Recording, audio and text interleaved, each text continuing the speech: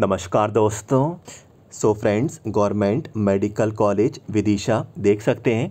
Vidisha medical college की ये official website है।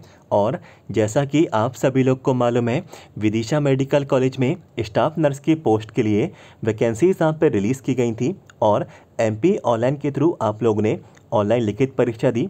फिर इसके बाद आपका स्कोर कार्ड यहाँ पे जारी किया गया। स्कोर कार्ड के बाद आप लोगों ने डॉक्यूमेंट का वेरिफिकेशन कराया डॉक्यूमेंट के वेरिफिकेशन के बाद फाइनली एक और अपडेट वेबसाइट पे आ चुका है नर्सिंग की पोस्ट के लिए यहाँ पे देख सकते हैं लिखा हुआ है नर्सिंग स्टाफ वेटिंग लिस्ट तो दोस्तों वेटिंग लिस्ट यहाँ पे आ चुकी है वेटिंग लिस्ट यहाँ पे टू यहाँ पे लिखा हुआ है और लिस्ट यहाँ पे कैंडिडेट्स की यहाँ पे शामिल कर ली गई तो बिल्कुल यहाँ पे समय व्यर्थ नहीं करते हैं जो लिस्ट आपको यहाँ पे जो दी जा रही है इसको यहाँ पे ओपन कर लेते हैं तो बिल्कुल आप सभी लोग यहाँ पे देख सकते हैं अटल बिहारी वाजपेयी शासकीय चिकित्सा महाविद्यालय, विदिशा। इनके द्वारा ये वेटिंग लिस्ट यहाँ पे रहेगी और यहाँ पे आप सभी लोगों को अपना नाम लिस्ट में यहाँ पे देख लेना है। तो अनरिजर्व वाले कैंडिडेट्स हैं, संविदा के आधार पे अभ्यर्थियों को यहाँ पे वेटिंग यहाँ पे क्लियर कर दी गई। तो दो कैंडिडेट्स के नाम यहाँ पे शामिल किए गए स्कोर आपको ये बता दिया गया। और इसके बाद दोस्तों शेड्यूल कास्ट कैटेगरी की इन्फॉर्मेशन है। संविदा के आधार पर कैंडिडेट्स की वेटिंग लिस्ट यहाँ पे क्लियर कर दी गई। और आप सभी लोग यहाँ पे अपना नाम इसमें आप लोग यहाँ पे चेक कर लें। आपका स्कोर भी आपको यह बता दिया गया।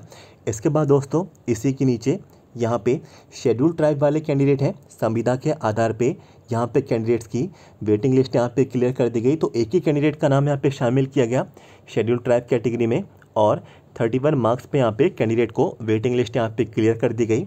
इसके बाद ई तो यहाँ पे संविदा के आधार पे कैंडिडेट को यहाँ पे वेटिंग लिस्ट यहाँ पे क्लियर कर दी गई। दो ही कैंडिडेट्स के नाम यहाँ पे शामिल किए गए और स्कोर भी बता दिया गया है। और यदि आपका नाम इस लिस्ट में आप पे शामिल है तो डॉक्यूमेंट का वेरिफिकेशन अब आपको यहाँ पे कराना होगा। साफ़ साफ़ यहाँ पे लिखा हुआ है, सभी निम्नलिखित चयनित अभ्यर्थी दस्तावेज़ सत्यापन, डॉक्यूमेंट वेरिफिकेशन हेतु दिनांक 31 अगस्त 2021 दिन मंगलवार को शासकीय चिकित्सा महाविद्यालय विदिशा में अनिवार्य रूप से उपस्थित हों।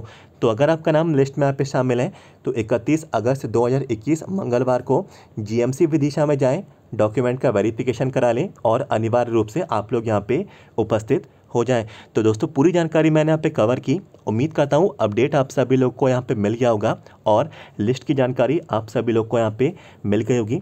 लाइक कर दें इस वीडियो को। सबसे पहले इस वीडियो को यहाँ पे लाइक करें। इस मेहनत को लाइक ज़रूर करें।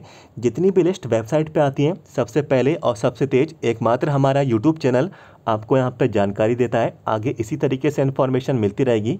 सब्सक्राइब करके रख लें चैनल को। तो वीडियो के नीचे जाएँ। सब्सक्राइब के रेड बटन को यहाँ पर क्लिक करें। आगे की लिस्ट की इन्फॉर्मेशन इसी तरीके से पात्र रहते मिलते हैं आपसे अगली वीडियो में। Thank you so much